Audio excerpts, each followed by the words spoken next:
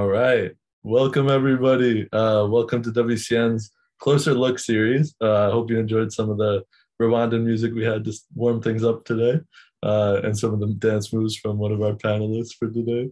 Uh, for those of you that don't know me, my name is Tommy Sheridan, and I help to manage WCN's Partner Network, which is an incredible group of world class community based conservation organizations that work to ensure wildlife and people coexist and thrive. So today we'll have the chance to meet two of our newest partners, to the network. Um, but before I introduce them, I'll just share some quick housekeeping notes about Zoom. Um, so for those of you that are new, this is a Zoom webinar. So although the speakers, we cannot see all the audience's videos, uh, you guys are still more than welcome in the audience to please write questions you have in the chat or in the Q&A feature at the bottom of your Zoom window. Um, so we encourage you to ask as many questions as you'd like throughout the talk today uh, and we'll respond to them live after the presentation is finished. Um, so at WCN this year, we're actually celebrating our 20th anniversary. Uh, and coincidentally, we also have now 20 partners in our growing partner network. Uh, so today we'll have two of our newest additions to that network, which includes Conservation Through Public Health, also known as CTPH, and Rwanda Wildlife Conservation Association, also known as RWCA. Um, so we are very grateful for both of them to join us today, especially because it's so late on a Friday evening in their home countries of Uganda and Rwanda. Um, and I'm sure everyone is probably eager to get off the computer and get out dancing to Beyonce's new album or this Rwandan music we're listening to. Um, so we'll try to make it a quick one today, but hopefully an exciting one for your Friday afternoons. Um, so to introduce one of the first partners joining us today, uh, Conservation Through Public Health, from Uganda, uh, they focus on mountain gorilla conservation by protecting mountain gorilla habitat, but also promoting health for gorillas and humans that live alongside them. Um, so they're led by Dr. Gladys Kalema Zikusoka, who's joining us today. And Gladys founded CTPH way back in 2002. Gladys is one of the leading conservationists working to save the critically endangered mountain gorillas of East Africa. And she initially was trained as a wildlife veterinarian but has tr- received tremendous honors for her work with CTPH and awards ranging from being named an Ashoka Fellow uh, to also recently a United Nations Environmental Program Champion of the Earth. So we're really excited to have Gladys joining us today. Um, and the other new partner joining us is Rwanda Wildlife Conservation Association, who focuses on the endangered gray crown crane. Now, the gray crown crane in Rwanda is threatened across its range mainly by habitat loss and also poaching for the wildlife trade. Um, and in 2014, Dr. Olivier Nsengimana founded RWCA to abolish the illegal trade of gray crown cranes in Rwanda. Since then, uh, RWCA and Olivier's work has been recognized and honored with many awards, from the Rolex Award for Enterprise to the National Geographic Buffett Award for Leadership in Conservation in Africa, and all deserved awards and honors. And Olivier was also, like Gladys, initially trained as a wildlife veterinarian. So I think you'll see today lots of overlap in their career paths and their leadership uh, of their own NGOs. So on that note, enough from me. Uh, we'll pass it over to you, Olivier, to share some more about RWCA. Uh, thank you so much, Tommy. Thank you, everyone who joined us today. It's a great honor to be able to really be here talking to you as uh, the newest partner of uh, WCN. Um, for those who came in the room first, you saw me like dancing and dancing. Um, thank you for tempting me, Tommy and Megan, playing the Rwandan music, especially the kind of music that uh, we dance when we are imitating the cranes. So you see like uh, these are the birds and the animals that uh, really means a lot in our culture. And I think it's the same uh, for Uganda uh, because it's even a national bird for Uganda. So I'm glad it's good say that. But I'm so happy and honored to be talking about the cranes. But again, I can't talk about the cranes without talking about myself because there is a, lot of similarities. Like we've I've met cranes like from uh, the very young age. So I'll go ahead and talk about myself. Like so, next slide, please. So from this photo, like it can tell, this photo can tell a lot. If you ask me how my life was when I was a young boy, I would say I would describe it as a free range. So you see, when I was a young boy, my colleagues and I, my cousins, um, like we all went outside, would have fun in the nature. Uh, nature took care of us. Apart from jumping, like like uh, going in the water, climbing the trees, we interacted with wildlife. Really, I would say like um, um, there was no distinction between us, like with those animals that we saw. We really enjoyed it. Next.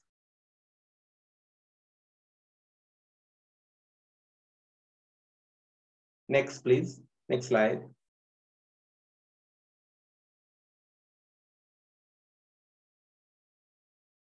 So um, when we went home, like at the evening, instead of going home, we would turn up to our grandparents. This was the most precious time of my life. We would go home, like sit around the fire, and we really loved to hear about the stories. And most of the stories that were told were the stories of wildlife. Like there were a lot of suspense, a lot of like uh, stories telling about, but most of the stories, when I reflect back, there were stories that taught us how to coexist with nature, how to respect wildlife. The same way we respected our parents, our friends, was the same way we were taught to respect wildlife. Next.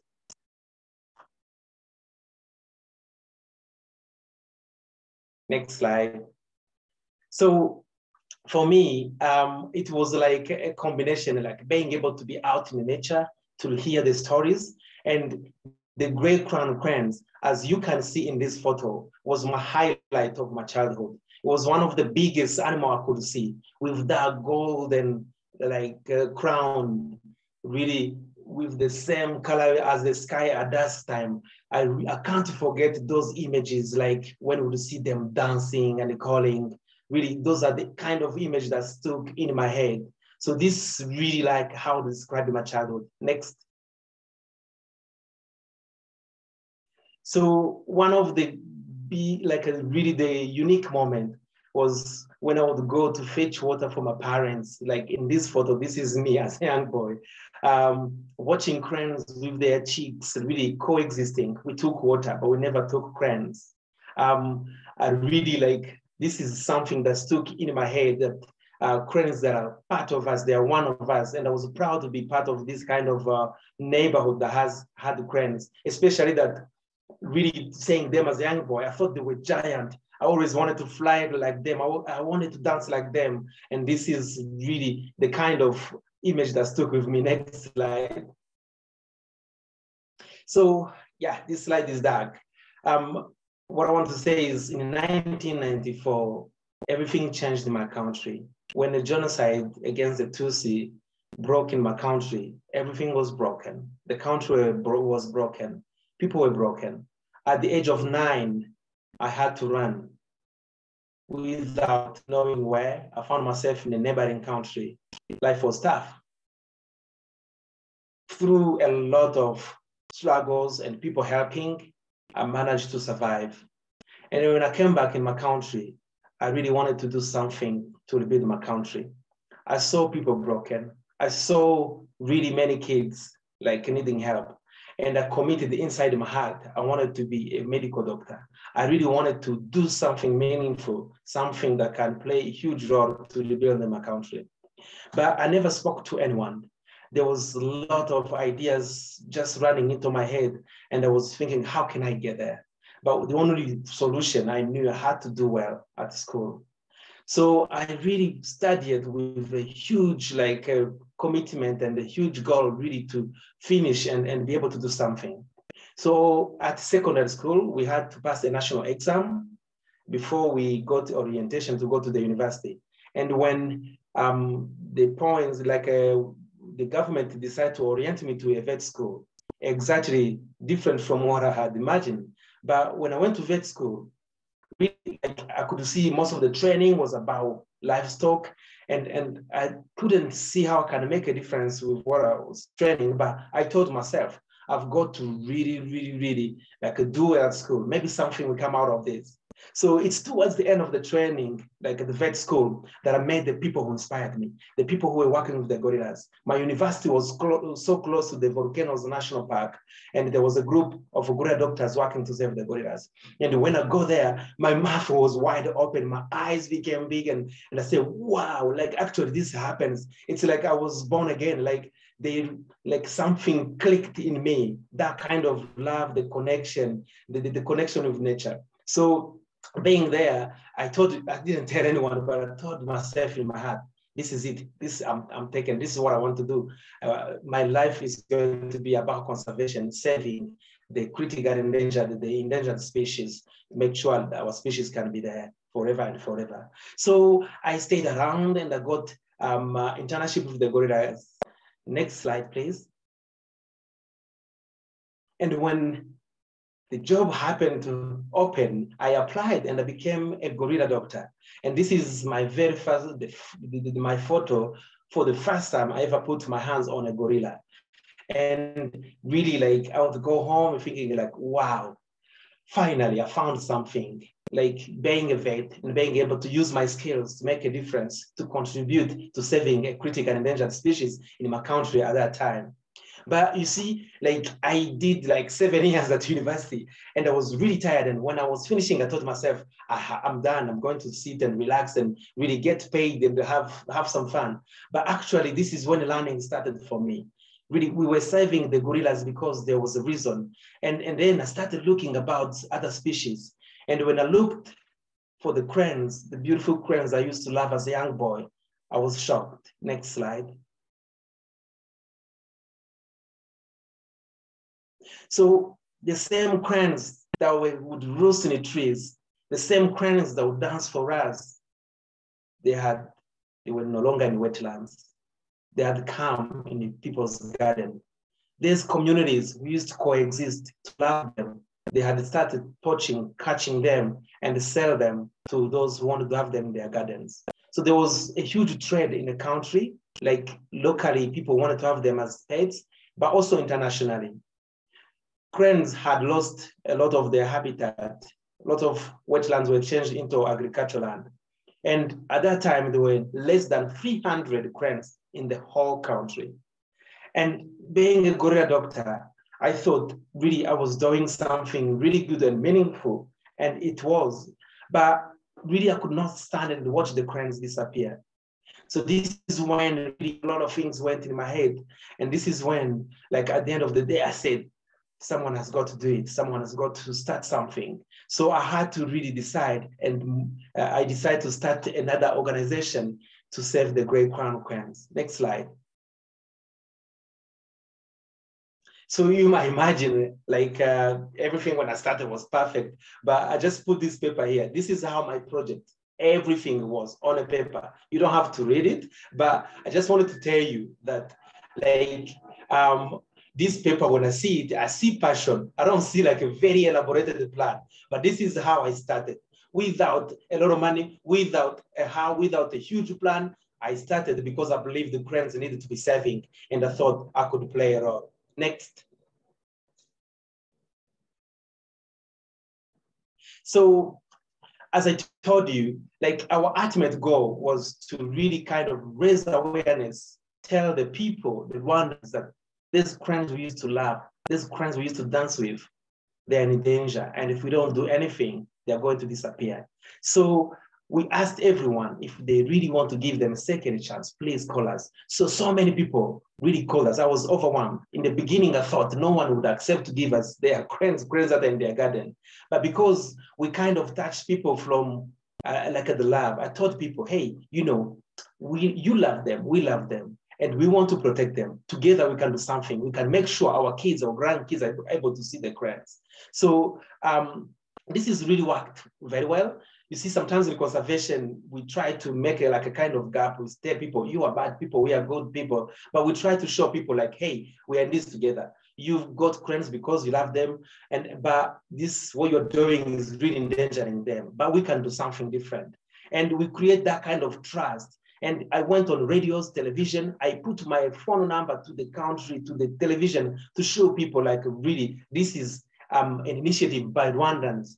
and we have to work together to make a difference for cranes. So over the last seven years, we were overwhelmed. Like people told us, come and take them. So we created a, data, a database and we identified all cranes in captivity. And we would go to those houses, take them, and come and give them um, health checks. So I got to be a vet, not for the gorillas, but for the cranes. So we would like look at their health. And those ones that we found they can survive again in the wild, we took them back to the wild. Next slide, please.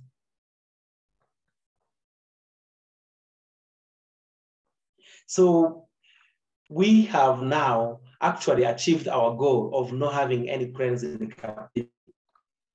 We have released over 150 cranes in the wild. But throughout the process, we also came across a huge number of cranes that could not survive in the wild, and we've created a sanctuary for those cranes. Next slide.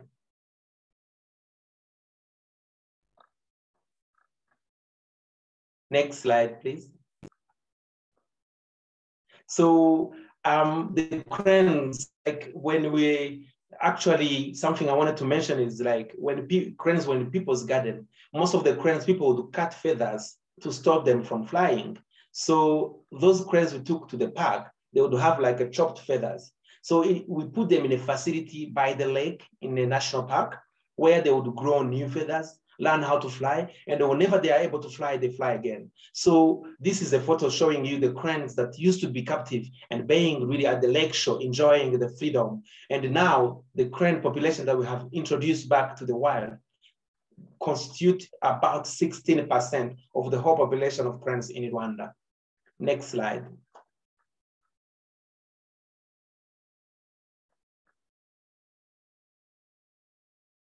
So um, you might wonder, like, uh, um, like why these photos? So you see, um, when I was little, I really enjoyed the cranes, and I know I'm able to work to save the cranes because of that passion and that connection with nature.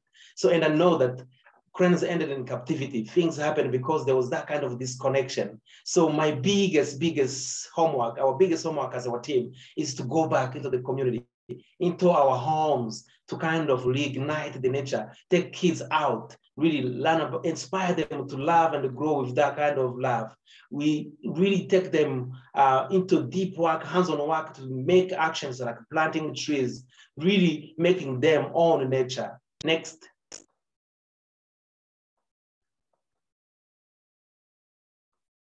Next slide, please.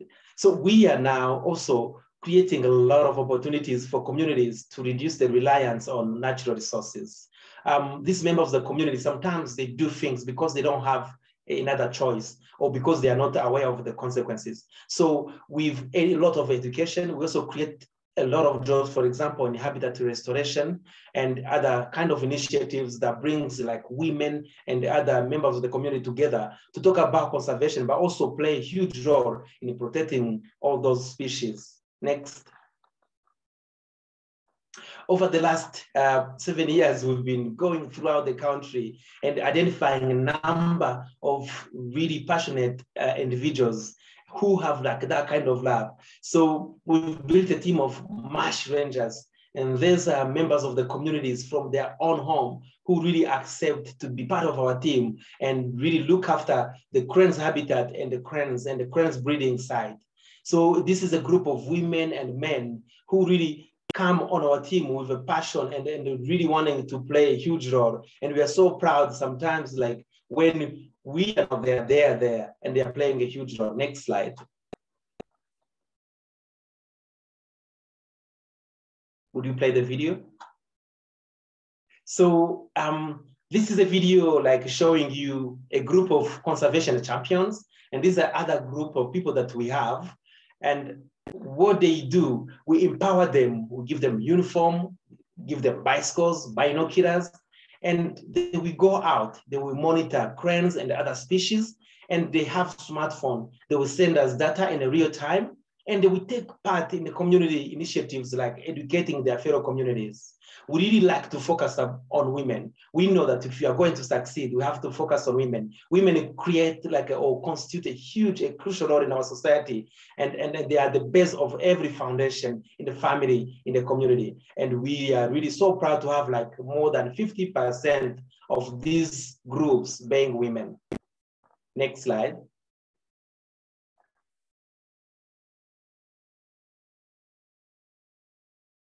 So um, I, I just this photo here just to show you like how proud I am. Like sometimes I feel jealous. Like it really makes me so happy to see all these people, like the champions, the rangers, going deep in those areas. Um, and when I see this photo, I picture myself in that photo and on that little boat, wanting to be there. Sometimes I feel jealous, but you know, like I close my eyes most of the time and, and I feel like I'm with them because you see, when I started, I was alone, but now we have a team of about 169 people. And I know personally, alone, I cannot be everywhere in the country. But when they're there, we are together and we are all contributing to saving our friends. Next slide. One thing that really came out uh, through this uh, uh, pandemic, COVID-19, is this photo. I want to tell you about it. It was on a Friday, and we got a call from this conservation champion. He said this there were two chicks that were poached from a crane that he's been monitoring. So what usually happens as a veterinarian, I pack my bag, I jump on a car and run. But during COVID, there was a huge, like a long, long lockdown. I could not move. There was a lot of travel restrictions. I started with my team to look for travel clearance and, and when, um, when um, uh, we were about to get it, this man sent us a photo himself on this really very small boat, taking the two chicks back to reunite them with their parents. And when I saw this photo, it was like a mix of like happiness and cry because you know I was under lockdown with so many days you know, going out. I was thinking, finally, I could get an opportunity to go out and really do something that I love, to be the person I am, be a veterinarian. But when I saw these, like him going, I thought, oh, I've lost everything. I felt really bad thinking, ah, I will never be able to practice what I'm doing. But but also throughout all of these, I realized that actually it's not about me. It's not about me alone. It's about all of us. So this man was able to save these two chicks if he had waited maybe for the time we would get there, maybe they would have been stressed, um, maybe even like uh, the risk of dying would have increased, but also we would have burned a lot of fuel, like uh, other expenses. So I saw an opportunity, a very big opportunity. Actually, these are the people who are close to wildlife. How about we empower them to even make more difference on wildlife? So we saw a huge opportunity of training them. Next slide. So this year, we conducted a training of about 120 community conservation champions and rangers. And our target was to give them the skills on first aid to be able to stand in the right place to protect wildlife. And they have started using those skills. Recently, uh, one of the ranger like uh, really sent us a photo uh, there was a crane that was uh, like hard. And then he has already put like a, a, hood on the face and he has done everything as a trend. And he called us after he has really managed to secure the bird and minimize the risk of stress and any other uh, complication. So this is the kind of empowerment that we are really working to to, to, to securing. We want the communities, these people like at the proximity of those natural resources, at the proximity of wildlife to be in charge, to be proud of it and take ownership and practice it. And this is how we can achieve uh, our, our, our goal of securing our species for generations, generations. Next.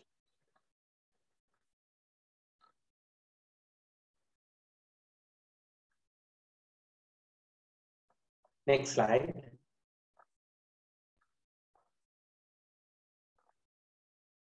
So one of my highlight moments of all is really like being able to experience this kind of moment.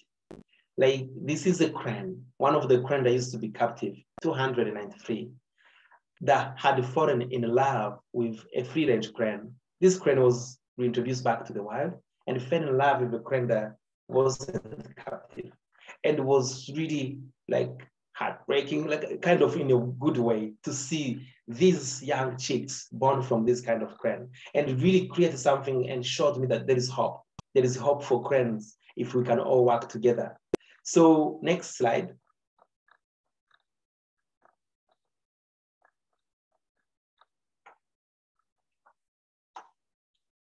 Next slide, please.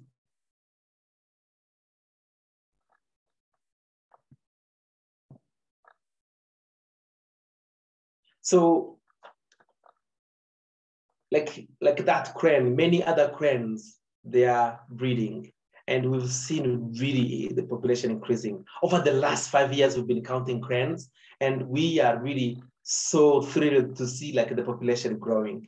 In only five years, we've been able to more than double the population, and we'll be counting in August. This is next month, around the 15th. And we are so excited and looking forward to seeing what the number are going to look like. And I will be so happy to come and telling you the number in October when, when, when, when I come to the expo in person. Next slide. This is a map that shows you like the distribution of cranes. As you can see, this is a map of Rwanda, but you see the red dots or the orange dots they are all distributed towards the, the, the, borders of Rwanda. And when we see this kind of image, it shows us that these cranes, they must move. They must go to other places because cranes, like they fly, they don't know borders. So over the last uh, three years, we've, we've engaged a project to kind of understand the movement patterns of cranes. Next. So we've been using like uh, looking at the cranes uh, that are nearly flying and capture them and feed them with GPS tags.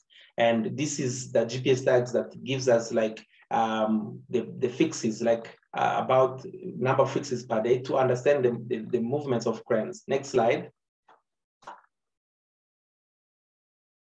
So on this map on the left, it's a map, uh, it shows you the, the, the, the, the the movement of one crane, six month movement of uh, a crane that was uh, identified or tagged or banned in Rwanda and has moved a lot to go to Uganda and even a part of Tanzania.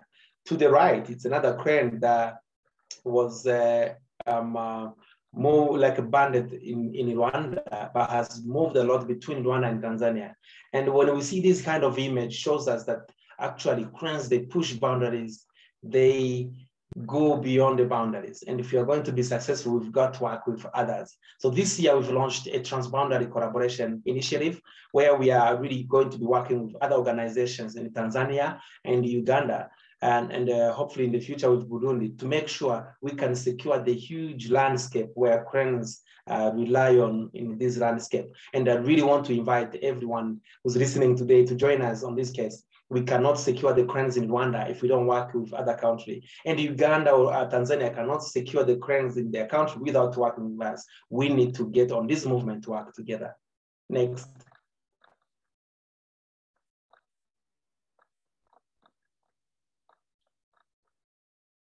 So as we really, really, really like are inviting everyone to joining us, I'm happy to share this photo. Like uh, this is a photo of uh, uh, one month ago when uh, Prince Charles came to see us and visit us and really like he took time to learn about the cranes. And this was really good, like uh, um, uh, in, in terms of um, uh, raising awareness, but also like really uh, to see someone like him to come and, and, and, learning and taking time to listen to the stories of cranes.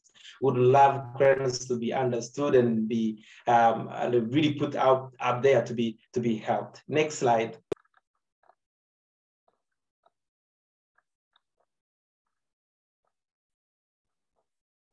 Next slide.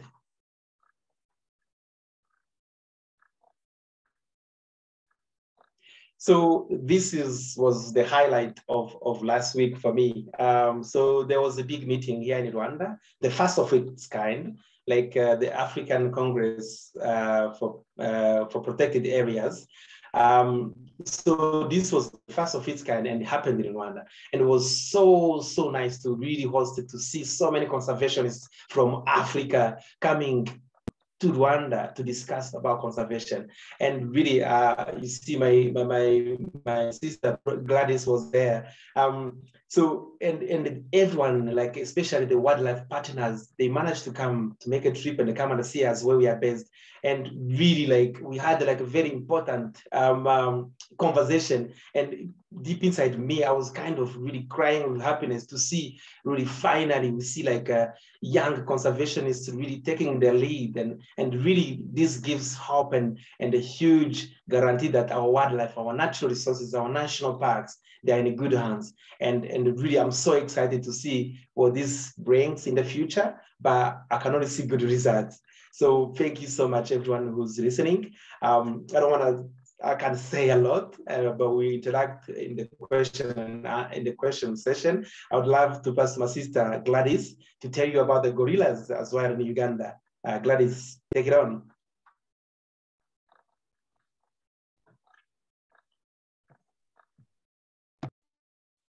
Um, thank you so much, Olivier, for the fantastic presentation. Um, I look forward to talking to you all about our work at Conservation Through Public Health. I've, I've been working with mountain gorillas for 25 years. And I'm going to talk about my conservation journey and why I started working with them. At the time that I started working with them, there were only about 650 left in the world, but we're glad that their numbers are really increasing. Next slide, please. I first got in, heard about the mountain gorillas when I was setting up a wildlife club at high school in Uganda, um, at Chibuli Secondary School. They told me that there were mountain gorillas and I really wanted to see them, but they were not yet habituated for tourism or research. And so I couldn't visit them. However, I got an opportunity to take the children in the school where I was to Queen Elizabeth National Park. And it was a life-changing experience for me because we were able to see wildlife up close and it was just amazing, though it was sad that there was very little wildlife that we could actually walk. They said it was safe enough for us to walk because there were hardly any predators. And this made me realize how little wildlife there was. At the time, we didn't see any lions or leopards.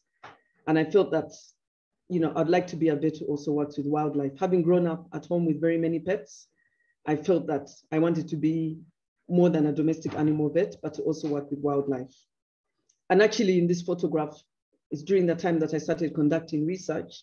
I actually studied chimpanzees before gorillas. Very few people know that, but I did a short study at Budongo Forest. Because I couldn't visit Bwindi, the gorillas were not yet habituated. And I was looking at parasites in the dung, the fecal samples of chimps, and later on got to do this study in Bwindi Impenetrable National Park. Next slide, please. So I finally got to Bwindi um, and having spent a month doing research there and seeing the, the impact of tourism on the gorillas, I could already see that there were only two habituated gorilla groups for tourism, but already they were generating enough support and revenue for the communities that they were really excited about the gorillas. That was in 1994 when I first went to Bwindi. And being a vet student, it made me understand how tourism was very important for conservation. And at that point, I felt that I wanted to be a full-time wildlife vet. And so I got an opportunity to be the first vet for the Uganda Wildlife Authority. They were thinking of hiring a vet because tourism had just begun and they were concerned that people could bring a fatal flu to the mountain gorillas that were critically endangered, something like COVID-19. So they needed a full-time vet to make sure the gorillas remain healthy and don't pick up diseases from people. But of course, when I was there, I got to work with so many other different species. Next slide, please. And through our One Health approach to conservation that I'm going to talk about in the presentation, I was greatly honored last December to win the UNEP, United Nations Environment Program Champion of the Earth Award in Science and Innovation. And one thing that I said in my interviews, which they brought up, was the fact that we need many more local champions from the communities where we're trying to protect this wildlife because they're going to become the decision makers. They're going to, and some of them will even become politicians and members of parliament who can decide whether to cut trees, to plant sugarcane, to destroy a forest, with precious wildlife. And it's very, very important to engage them and let them become the leaders in their communities and countries. Next slide, please. The, the mountain gorillas are, I don't know how many we have visited them, but it's a really amazing, magical experience, once in a lifetime experience. And the mountain gorillas are found in two distinct populations. Um, this is a baby gorilla. Basically, baby gorillas stay with their mothers for four years until they're able to, they're old enough to build a nest. And gorillas move in a harem with a silverback. Next slide, please.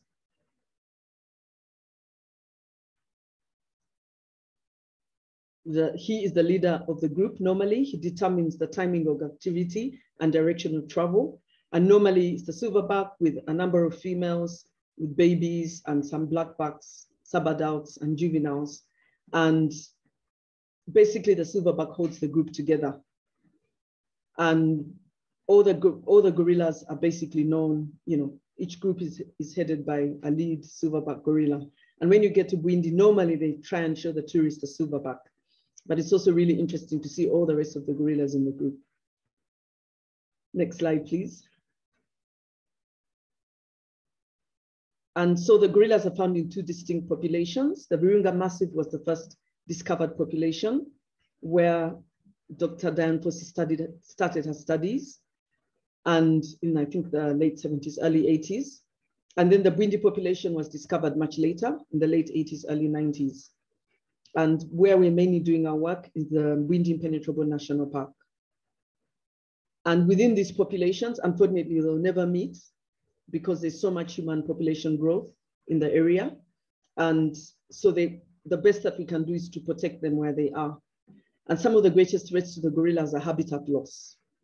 Mm, as you saw in the map, the two gorilla population, mountain gorilla populations will never meet. And when you come, unfortunately, this is what you see. You know, there's cultivation right up to the edge. And that means that when it became a national park, people could no longer enter the park anyhow, and they're not allowed to go in and sustainably or unsustainably harvest timber. But sometimes the gorillas come out. And a lot of this is because of the very high human population growth, um, which is something that we've started to address also at Conservation through Public Health. Next slide, please.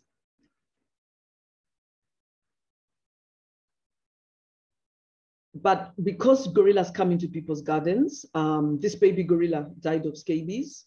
And although I was hired to prevent disease between tourists and gorillas, one of the first cases was from the local community.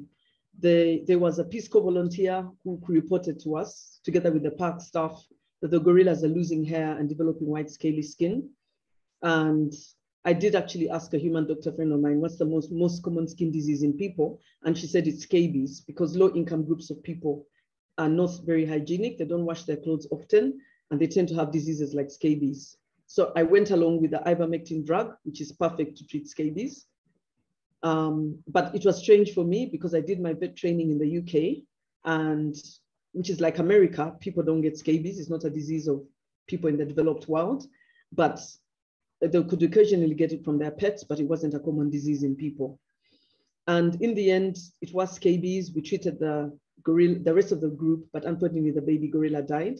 And even when we did the post-mortem, the body was crawling with mites even after the gorilla had died. And so we went ahead and treated all the group and also made sure that it hadn't spread to other groups. And four years later, another scabies outbreak occurred. And luckily, we now knew what it was and they all got better. But then we also had cases that we weren't sure whether it was human related or not.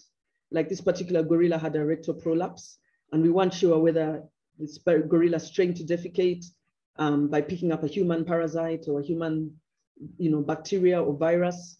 But anyway, went ahead and treated the gorilla, she got better, so six-year-old six juvenile, female juvenile gorilla.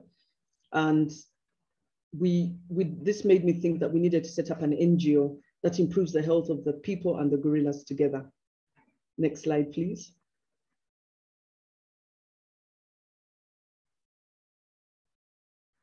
Another thing that happened as well is the human gorilla conflict. Um, this is unfortunately happens quite often at Bwindi.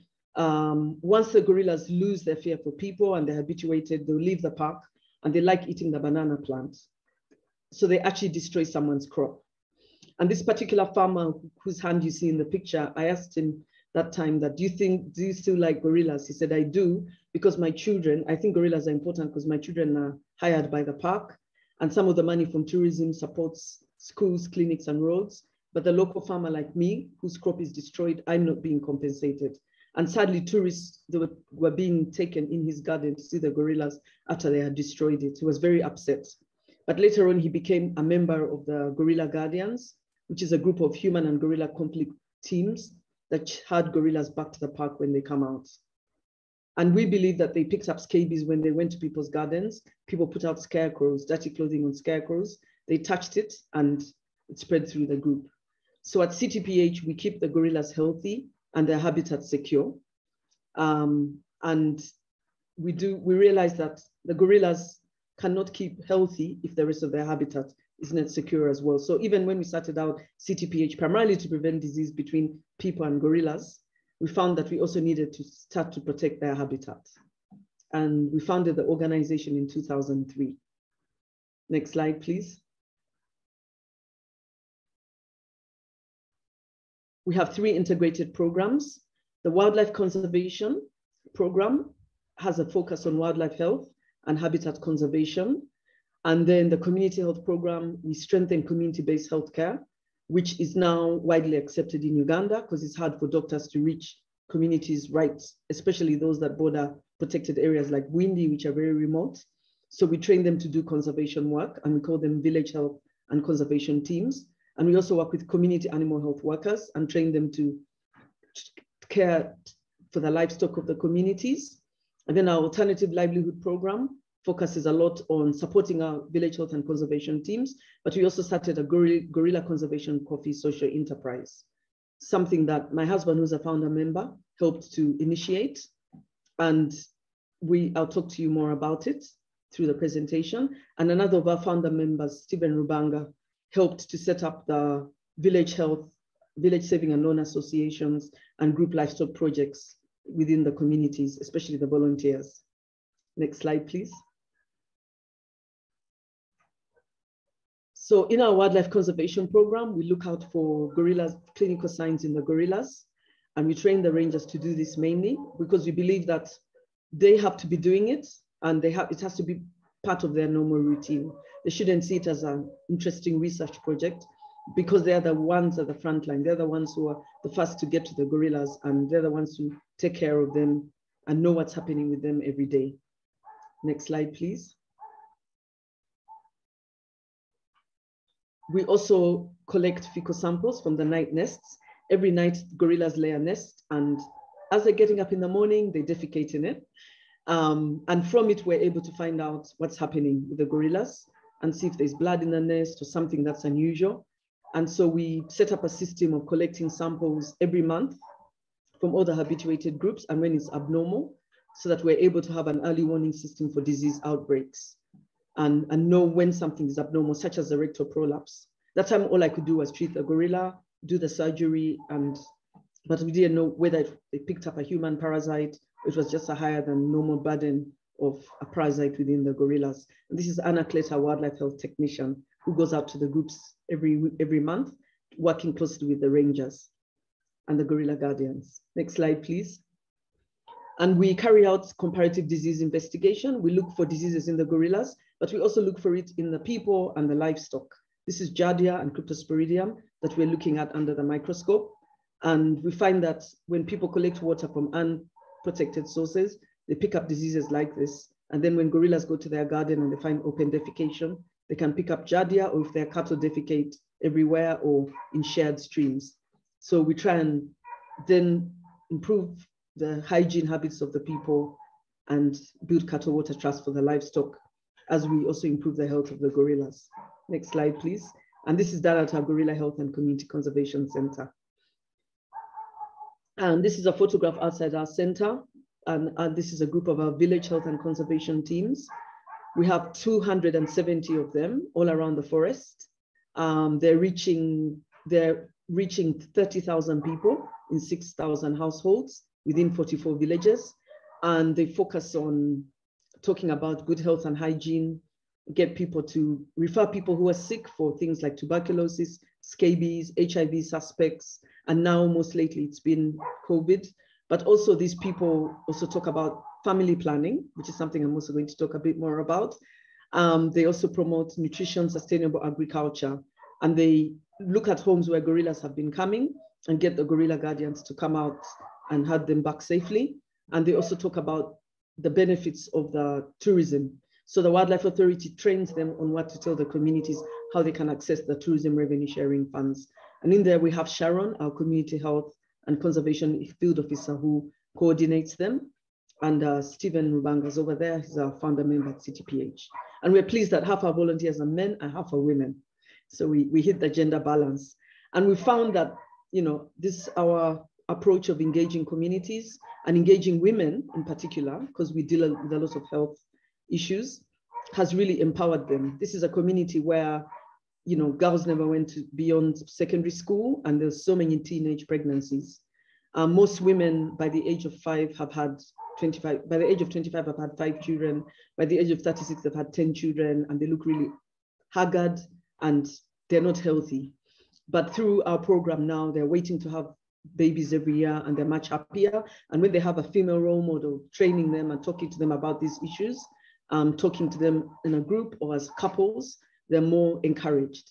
And so here she's talking about, you know, gorillas have come in someone's garden, what should you do? But the good family, you know, the clean family knows what to do. They have the children they can manage. And eventually the son becomes a ranger, the girl becomes a nurse, the daughter becomes a nurse, whereas the bad family has too many kids, teenage pregnancies, and some of them die early, and there's a lot of conflict with the gorillas and other wildlife. Next slide, please. And so we focus a lot on preventing disease transmission um, between people and gorillas. And most people can't read and write in the local language, so it's translated into Ruchiga. And we're seeing a lot of people changing in the area because actually quite a number of them benefit from tourism, but even those who don't are happy that we're improving their health because we're showing them that we also care about them and not only the wildlife and the forest. Next slide, please. And we got into a partnership with Family Health International, um, and they trained our volunteers to give safely give family planning injections. This was the most popular contraceptive, Depo. Um, it's now upgraded to Sayana Press. And through this, women can have babies only when they want to. They have more control over their bodies, they're much happier. And some of them even start businesses in between. And this has really liberated the women. And for the men, they're happy that they're able to balance the family budget much better. And they're doing this in the comfort of their homes because before when they would have to go to the hospital, they'd find an overworked midwife and she wouldn't attend to them and they would conceive. Now, during COVID, um, it became a terrible situation. We had an, a very big crisis when the pandemic began, not only for the people, but for the gorillas, because they can easily pick up COVID because they've ever picked up other respiratory diseases, other common flu viruses, and we're worried that they could also easily pick up COVID. Next slide. Next slide, please. And so we, we worked together with the Uganda government, the Uganda Wildlife Authority, and together with other conservation NGOs and got them to upgrade the gorilla viewing guidelines so that now everyone, when somebody visits the gorillas, they have to wear a mask. If you're within 10, 15 meters of a gorilla, you have to wear a mask the whole time, um, whether it's inside the forest or outside the forest. Next slide, please. And you have to be healthy and hygienic and maintain a distance from the gorillas. Next slide, please.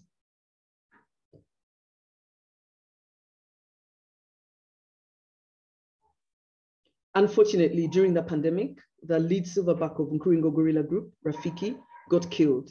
And he was killed by a hungry bushmeat poacher who was not hunting gorillas, but was hunting duiker and bush pigs. And this is something that the community did a lot before tourism. And when tourism started, the hunting for such species, the poaching really reduced because they were benefiting from tourism. But now tourism disappeared overnight. So a lot of people had stopped farming and they just all their revenue was coming from tourism. And so it was very, very sad when Rafiki was killed. The group split and went from 17 to 11. And now they had to be headed by a blackback, which was, and the group became very unstable. This poacher was given 11 years in jail, which is the longest anyone has ever got in jail for killing wildlife.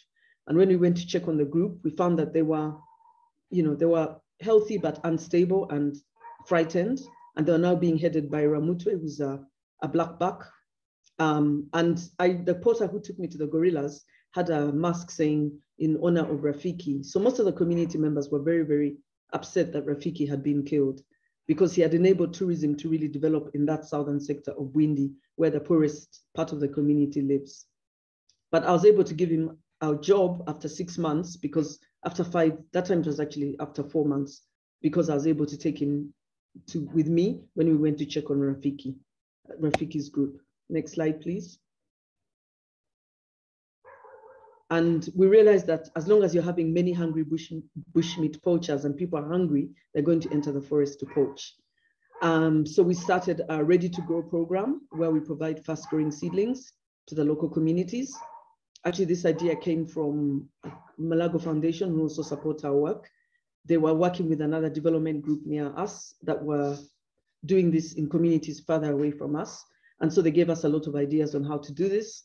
And we got into food security because ready to grow is something that it's not only short term to help them through the COVID pandemic, where when we gave out questionnaires to the to them, we've reached 1,500 with support from WCN. It's been fantastic and other donors. Um, when we reached these people, they told us that they were poaching because they're hungry. And the pandemic really created this hunger, increased the hunger. So now they're able to eat and it's reduced their need to enter the forest to poach, which is great. We give them 10 different types of seeds seeds and seedlings, and within one to three months, they are growing and they're able to eat. And it's something that we're continuing long after the pandemic because we realize that food security is another way to reduce poaching and other threats to the gorillas. Next slide, please.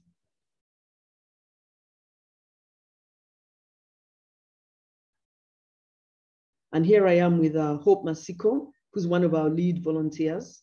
We went to visit her home. Actually, we were with Tommy when we visited her.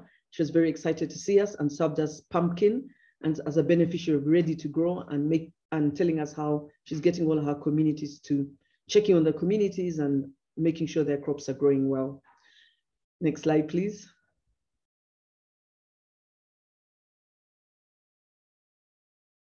Um, Gorilla Conservation Coffee is a social enterprise we started in 2016 because often when I go to check on the gorillas, we'd see farmers digging and they're not part of the tourism industry. Not everyone can be a ranger, a porter, you know, or sell crafts to tourists. And so we started to feel, why don't we give them um, better prices for good coffee and reduce their need to enter the forest to poach.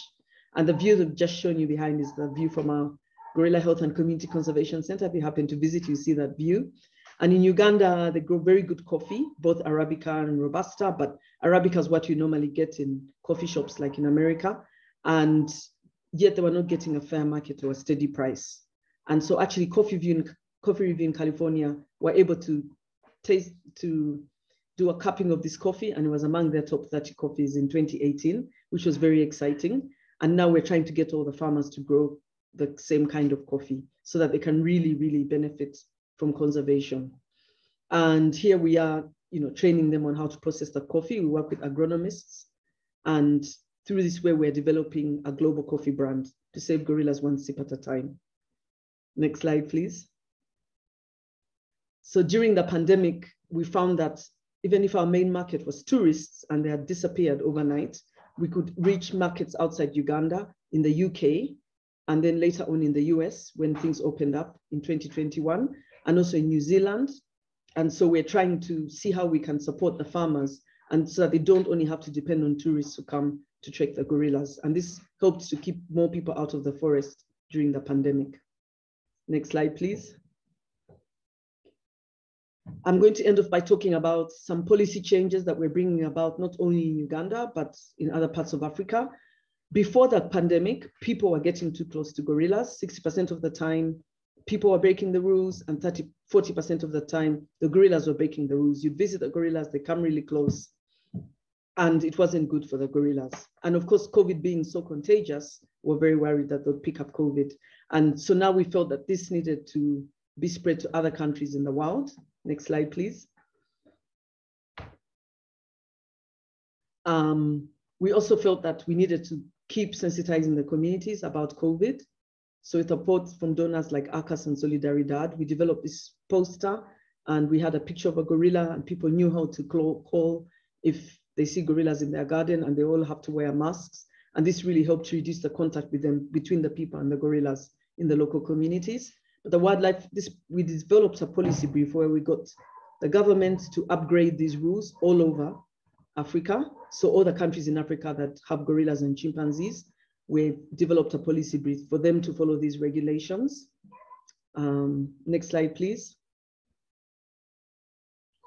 And just this photograph, normally just as you're going into the gorillas, you have to sanitize your hands and your boots, disinfect your boots on top of having your temperature taken before you enter, wearing a mask and being ready to maintain a respectable distance from the gorillas, which is now 10 meters. Next slide, please. And we launched this policy brief last week at the African Protected Area Congress, which Olivier talked about.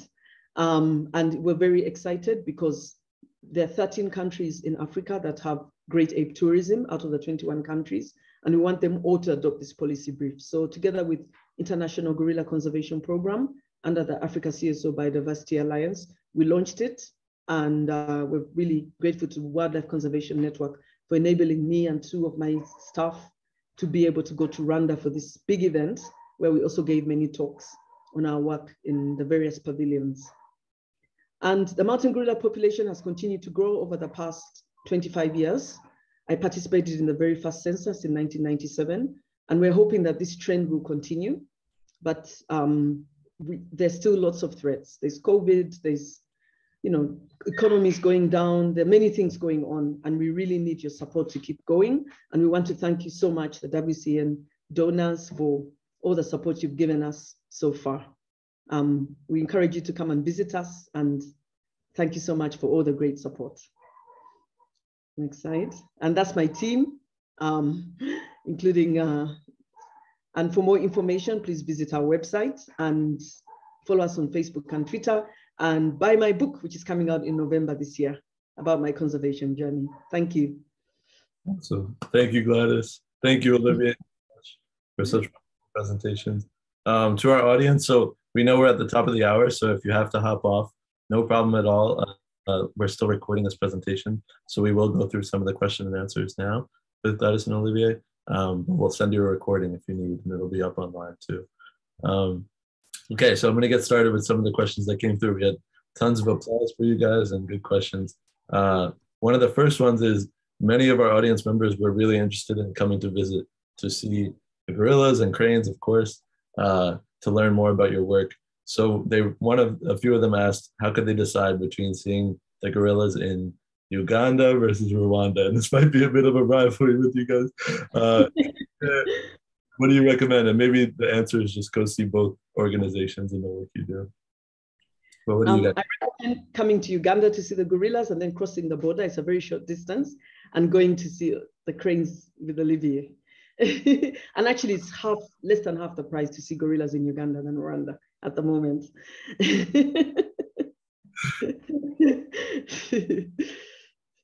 okay, wonderful. Uh, so the answer is for all of you, I think definitely go see both organizations. I had the pleasure to both CTPH and RWCA in November of last year, and it was a really eye-opening experience. So I encourage all of you to go and learn about their work and support them too. Um, Okay, so quick question, Gladys, about the gorillas is, can you clarify about the difference between the species of uh, mountain gorillas and lowland gorillas? Yes, they, there are four different gorilla subspecies. Um, the mountain gorillas are only found in Uganda, Rwanda, and DRC. And then there's the eastern lowland gorillas only found in DRC. Um, they are slightly smaller, they have slightly less, less hair, and because they live at a slightly lower altitude and they eat more fruit and climb more trees. Oh. And then there's the western lowland gorillas, which are even at a lower altitude, and they're found in about eight countries in Africa, mm. including DRC and all the rest, like Cameroon, Nigeria, Gabon, CAR. And then there's a cross river gorilla, which is only found in Nigeria and Cameroon. And they're even fewer in number than the mountain gorilla. There's only about 300 cross river gorillas. Mm. And they're considered to be a a subspecies of Western lowland, mm-hmm. um, but they're a bit slightly different. Gotcha. Okay. Thank you. And Olivier, a question about the crane. So uh, you mentioned a little bit about them being like a totem animal. Uh, can you tell us more about the cultural history of gray crown cranes in Rwanda and maybe Uganda? Um, and what do they yeah, um, so yeah, um, so you see, like uh, when I was growing up, uh, I found this culture, which is still stands. Like traditionally, like uh, Rwandan families, they were divided in different families. So each family had a name. So each family or clan would have uh, a totem or a family animal. So cranes were is a totem for some of the family. So when I the way people respect each other between families, and it's the same way they respected um, uh, these totem animals. For example, when we were kids, uh, I knew I would not kick like a frog because I knew it was totem of my friend. I would not like uh, harm another species because I knew it was a totem. So the way we loved each other, the way we protect each other, we coexist, it was the same way we're incorporating our species. So yeah, cranes are linked to our stories. And, and again, um, uh, it's one of the species that people related to a lot, especially when it came to dancing.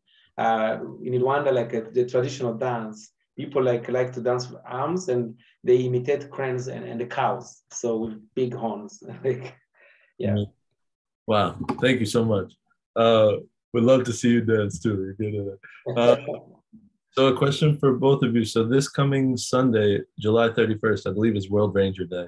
Um, and a few of the audience members were asking about uh, what can be done to protect uh, the protected areas or parks that both cranes and gorillas live in.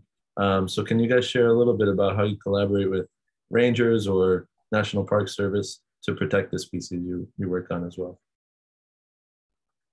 Maybe we'll go Olivier first and then Gladys. So yeah, um, I think um, what we do is really like the ranger. They are at the heart of protection of all of these places. They are often the people at the forefront of all the challenges. So um, as an organization ourselves, we really like like to put a lot of efforts in building capacity, but also really being there with them. And and and again, um, uh, they can be easily forgotten because uh, it's, it's so nice to see like uh, this kind of day coming up and uh, putting we want them to shine and to be uh, highlighted as heroes because we know the kind of work they are doing there. And really we ask everyone to support rangers efforts but also to uh, kind of shine like if you know a ranger if you know an organization that has rangers please yeah let's just bring their stories out and and uh, really put them at the forefront and empower them to do more of the work that they do every day. Thank you. Mm-hmm. Gladys, how about you guys with the Uganda Wildlife Authority? In Uganda, we work closely with our Wildlife Authority rangers, and we do, we've, we've actually been part of the Tusk Trust Wildlife Ranger Challenge, where they, they see who are the fittest rangers and they get a prize at the end. But then this, this, through this, we're able to raise money, which then supports them and during the pandemic, we've been helping them with food rations because the money that was, the little money that was able to come from tourism could only pay salaries and they weren't getting enough food rations to go to the field. And if they get food rations, then they, they really stay out longer and look after the, the gorillas and other wildlife and carry out proper patrols. So it's been helping with food rations and building mobile toilets so that when they're inside the, the park patrolling, they actually have a toilet and they can also have one month, they can have lots of tents and they can be out there to look out for the poachers and for any, and monitor the gorillas. So we've been really supporting the rangers much more during the pandemic than we did before because the, of the less money coming for tourism to run the park operations. And this Wild Ranger Day, we're also just joining on to again the next task, Tusk Trust Wildlife Ranger Challenge. Wonderful. Cool. Thank you. Um, well, yeah, everybody probably keep an eye out on Sunday. I'm sure there will be a lot of messages around social media for World Ranger Day where you can learn more about CTPH and RWCA support for rangers too.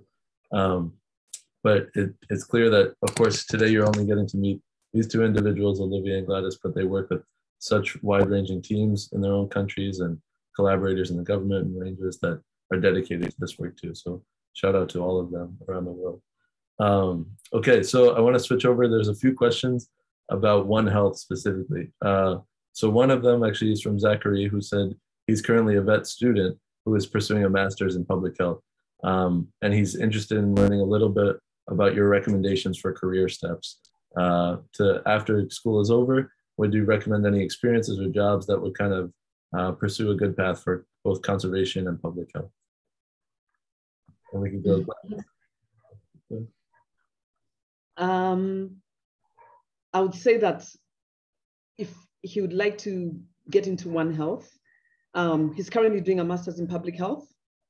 Um, it would be good for for him, yeah, to to still the master's in public health is great.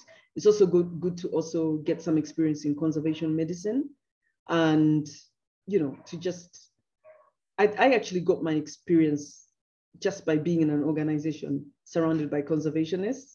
And then I conducted research on tuberculosis at the Human Wildlife Livestock Interface as part of my zoo medicine residency at North Carolina State University. And that's when I really got into public health. So doing research projects as part of your master's will really help to, to learn a lot about One Health and conservation medicine. Awesome. Thank you. Olivier, anything you want to add on about your journey in One Health? I would say like um, uh, Zachary had already made a step, uh, already like even talking about it, being here, you already know Gladys, you know me, you know other people. So networking and uh, being able, like I think just the, yeah, the people we meet, the opportunity, the talks, everything, it all contributes to orienting us to, to, to the path that we want to follow. So, and, and everything, the knowledge, the, the thing we talk, like, uh, listen, it helps us really to, to shape uh, our career. So I feel like, uh, yeah, keep doing what you're doing already. Uh, be in touch, have some experience, like uh, go to the field, get to learn, like uh, hands-on like uh, try to find those kind of opportunities that will help you really to to feel like even yeah this is what i want to do. This is this is it. Like uh, feel like uh, not only at university but also go into the field like have that kind of experience to make sure that's what you really want. And and from there like yeah you can make a huge thing a huge difference. Yeah. Hmm. yeah absolutely. So uh, we'll have time for maybe two more questions. I'll try to squeeze in then we'll let you guys get some rest tonight too and enjoy your weekend. Um, but one of the questions is, uh, can you guys share, uh, specifically the questions for gorillas, but I think it'd be interesting to hear for cranes too. Uh, when rangers or medics are approaching them, uh, how do you actually touch the animal or approach them in a safe way? Gladys, could you share from gorillas perspective? Yes, when you're having to do an intervention on the gorillas, um, you it's actually can be quite tricky because they're very intelligent creatures and very intelligent, unlike other wild animals. So they, you have to always be aware of where the, the head of the group is, the silverback, because he's very protective over all the other gorillas. So the first thing you have to do is when you're darting the gorilla, first of all, you have to hide the dart behind your back, the, the dart gun, because they know what you're going to do if you've done it before. And once after aiming and you know in the right place, the thigh or some place like that, and the gorilla starts to go down, you have to create a tent around that particular gorilla. And very brave trackers have to chase away the silverback, very brave trackers, uh, because he can really charge. And nobody's allowed to run, because if you run, people get hurt. Like whoever's in the pathway of the gorilla will get hurt. And then that's how we're able to carry out the treatments. And then even returning the gorilla back to the group is the next problem where people can get hurt. So that has to be done very carefully as well. But again, you need brave trackers and everybody's part of the intervention team. Incredible. They're, they're so intelligent, gorillas, so you just have to be careful how you do it. and Olivier, how about with cranes and the rehabilitation center you worked on? How do you approach cranes? So yeah, um, uh, so cranes, you know, yeah, they fly as opposed to the gorillas. So we cannot use like that that guns. Um, so most of the cranes, when they are injured, when they are they are they are in a state when they are not able to fly, or if, for example, the cranes we've been working with, like when people clip uh, cut their feathers, they cannot fly. So we physically handle them. We find ways to capture them um, like in a way that uh, um, uh, reduces the stress and, and the injuries. There are some of the cranes actually that can be also that can come to you charging, like wanting to, to peck at you. And uh, sometimes like um, you see like uh, when a bird is tall, like you, sometimes people you raise like something to show them you are tall and and uh, it kind of brings them down. So yeah, when you want to catch them, you corner them in an area, um, and then you're able to handle them. So one of the first things that we do when we we have cranes in our hands is really to to use a blind to put something to to like uh, to make them not look outside because they stress when they can see outside they stress more so but when we have like a, uh, uh, we, we hide we, we, we blind them um, they reduce the stress and they are more calm and we're able to work with them like uh, handling them physically. There's someone handling and another vet is uh, doing whatever we do uh, on them. So most of the time we do like uh, on physical handling, handling them physically, unless there is a very uh, a surgery that has to happen, we put them on anesthetics like a gas anesthesia and other type of monitoring to make sure like uh, reduce that kind of pain and, and, and stress. Awesome. Okay. And then the last question, I wanted to finish this because uh, this past week, I think it got a lot of media in the New York Times and others. Um, but a few individuals asked about recently, uh, the DRC said that they have some plans to offer more oil and gas leases in the Virunga National Park. Um, and of course, this is your neighboring country, not where you guys work directly. Um, but I think you guys could probably offer us some advice and recommendations about the complexities of this in conservation when a poor com- country has to determine how to value their natural resources. And the question is from the audience um, Do you have any recommendations or what can be done to uh, balance this and how to stop the development in a protected area for critical habitat? Um, and what benefits can be given to countries to help navigate these challenges? So I'll go to Gladys first, and then Olivier will finish with you. Um, yes, it's been a very bad breaking news um, about what DRC is planning to do. Hopefully, it's not going to go through. But I think the whole point is people are so poor and desperate, and they're not. It's very hard for tourism to really develop there because of the civil war and conflict. And so, luckily, in Uganda and Rwanda, gorilla tourism and you know is really bringing a lot of revenue for the country. It's much much harder for the government to even think about something like that. But i think in drc there isn't enough coming in from tourism and they're wondering what to do about all those poor people around the virunga. And maybe they think oil will be a good a good option but it's going to it's a very short term option and of course, it's going to destroy the habitat. And I think the gorillas will get affected. I'm not really sure exactly where they're doing the oil drilling. Maybe Olivier will know. But one thing though is there's been talk about carbon credits because the Congo forest is one of the largest forests in the rainforests in the world and is very good for carbon as a carbon sink. And I'm wondering maybe the money from carbon credits is not enough. They need to offer more money, which is more than what they would get from drilling oil in order to save this, this rainforest. But it's up to the governments that have the money in the developed world, America, UK, you know, Europe, all those countries, in order to see if they can do something quickly. Absolutely. Yeah, it's a very complex topic. Olivier, is there anything you want to add to it? Yeah, um, uh, something I can add to that is like, uh, yeah, this is a very complex and uh, difficult issue. Um, but as much as really it's happening in DRC on the side of Virunga, it's a concern for the whole gorilla population because uh, these gorilla really survive or rely on this uh, Virunga massif to, to, to survive. So yeah, um, I think there is a platform called the Greater Virunga Transboundary um, collaboration, which is like uh, an initiative that was signed uh, by three countries, Uganda, Rwanda, and, and DRC. And I think that's where most of these kind of such big issues are raised, where government come on a, on a table and discuss and, and really uh, try to find a solution uh, and, and a kind of balance. Uh, um, um, uh, yeah, like a, what is the Congo try to solve with this oil drilling? Is there an alternative? So I think as Gladys uh, mentioned, um, uh, really with tourism, there might be a lot of potential, but unfortunately, because of uh, a lot of armed groups in the forest as well, like uh, it's been really becoming in the way of tourism, which is also another political issue that needs to be solved to ensure the, the survival of, of those gorillas uh, for, for a long time. So I think as much as we are conservationists, and uh, this shows that um, there is we cannot succeed alone. We need politicians on board. We need everyone on board.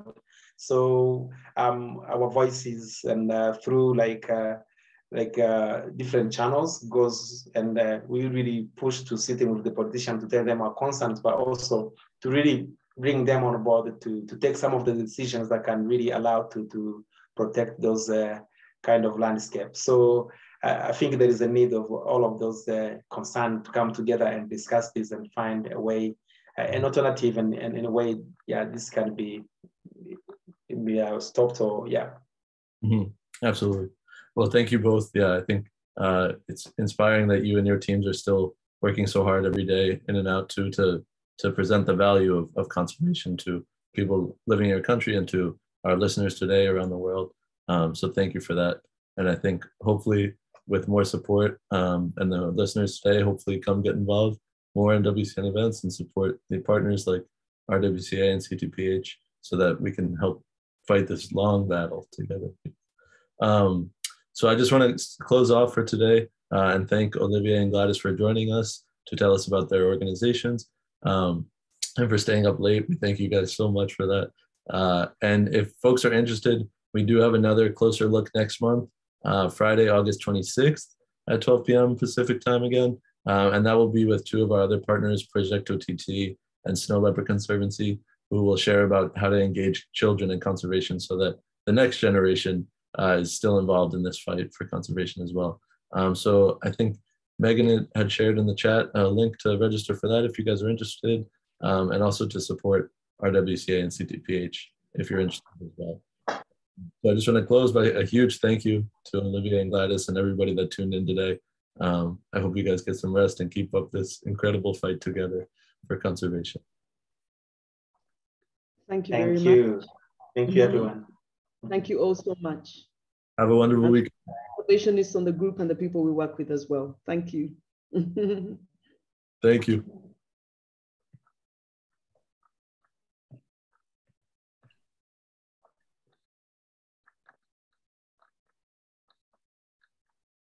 Mm. Wow.